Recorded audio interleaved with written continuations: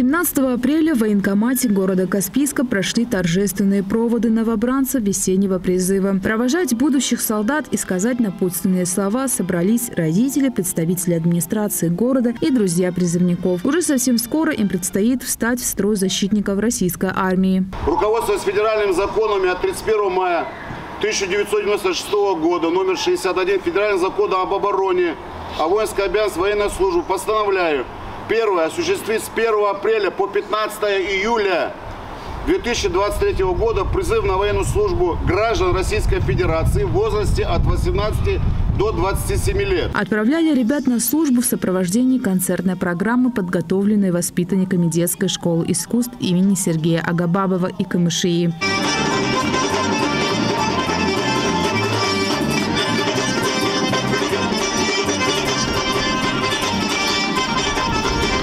Отметим, что на отправке также присутствовали заместитель главы города Каспийска Казбек Демиров, заместитель председателя собрания депутатов Аза Алиева, председатель Совета ветеранов Афганистана города Каспийска Магомед Арип Якубов и председатель Совета старейшин Ганифа Джабраилов. Они торжественно вручили призывникам военные билеты и подарки от собрания депутатов Каспийска.